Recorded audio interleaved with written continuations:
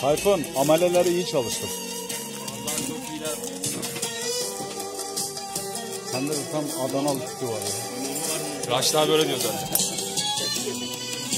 Kayboluyor çocuk o Adanalı şey diye soruyorlar. Afrika dediler ya kahvenin önünde. Afrika dediler? Sana dedim ben Latif Hoca'nın sorunu. Beni